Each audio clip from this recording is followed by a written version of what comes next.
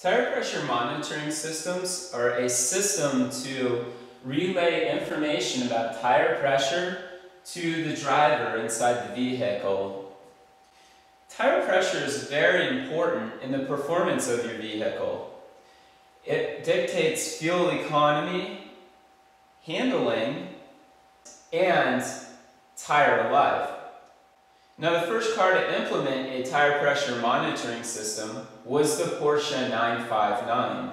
That was back in 1986. And Europe quickly took hand of the tire pressure monitoring system, implementing it on a number of their vehicles as a safety and maintenance feature. It wasn't until sometime later that we adopted the tire pressure monitoring system in the United States. It became standard equipment on all vehicles through the TREAD Act, which was enacted by President Clinton during the Firestone fiasco, where many people lost their lives due to underinflated tires. The TREAD Act was enacted by Congress in response to the Ford Firestone situation, and it included a large number of new regulations that NHTSA was directed to implement. One of them had to do with tire pressure warnings. And one of the things that was found during this time is that consumers did not keep their tires properly inflated. And keeping tires properly inflated is very necessary for both safety and it actually also helps to promote fuel economy. And so NHTSA came about to develop a regulation that would provide people with a warning to say one of your tires is becoming significantly underinflated and needs to be serviced. And this warning operates independently of any activity from the consumer so that consumers are always told one of your tires has a slow leak that needs to be addressed.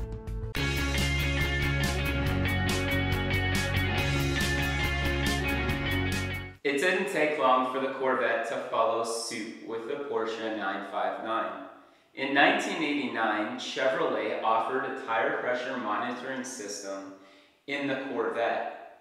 That came with run flat tires. Now run flat tires, if you're not completely aware, allow you to get to the next service station if you have a flat tire. One of their disadvantages, though, is they don't provide that driver feedback to let you know you have a low tire. So a lot of Corvette owners were driving around with flat tires and not realizing it. This tire pressure monitoring system kept them aware of the condition, the state of their tires. Now, in 1997, with the introduction of the C5 Corvette, run flat tires were made standard equipment. In order to keep the driver aware of the tire pressure, again, Chevrolet installed as standard equipment a tire pressure monitoring system, the direct variety with a pressure sensor and radio link inside each tire. Now when a single tire goes underinflated, under 25 psi, it informs the driver. If that same tire goes under 5 psi, the car informs the driver they have a flat tire. Otherwise, if the tire goes above 42 psi, the car informs the driver the tire is overinflated.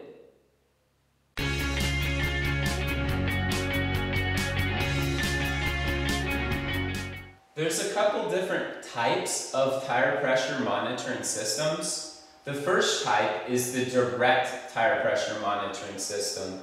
This is implemented with a pressure sensor inside the tire coupled with a transmitter, a radio link. This radio link and pressure sensor in the tire talk to a receiver inside the vehicle. This receiver is then in turn read out on the dash, displaying the tire pressure to the driver.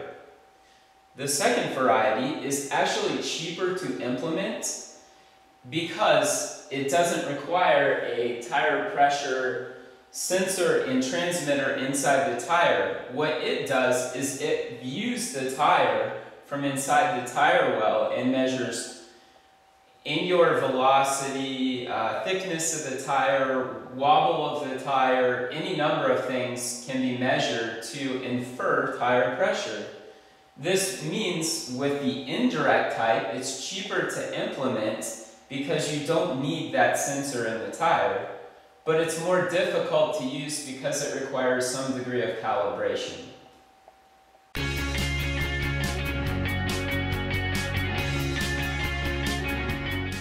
Okay, I'm going to show you a tire pressure sensor here attached to my rim. This is the sensor itself.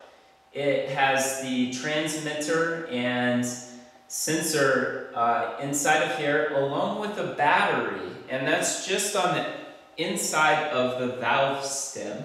It has a battery because there's no direct connection between that sensor and the battery in the car. And what happens is every so often those batteries go dead. Unfortunately, to go and get a set of new tire pressure sensors is in the hundreds of dollars. And that's all because the batteries have gone dead in them. Now, it can be advantageous to replace those batteries yourself.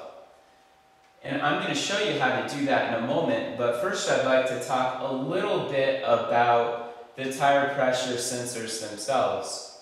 Now there's two varieties of tire pressure sensor for the C5 Corvette. The first variety was installed between 1997 and 2000. This variety worked with the older body control module that featured passive entry. The newer variety of tire pressure sensor went with the 2001 through 2004 Corvette, and it's actually used on a number of other cars as well. The newer sensor it lasted longer. That was the idea because it only transmits periodically to the body control module in the passenger side footwell. And that was to extend the life of the battery inside the sensor.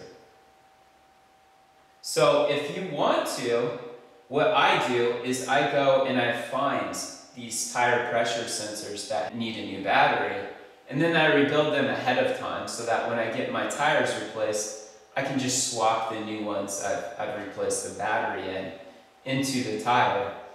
Now you can get sensors from junkyards, from your tire store. They just throw them away. Or I, I've gone many times to internet forums and requested in their parts classifieds for uh, tire pressure sensors. All these work really well.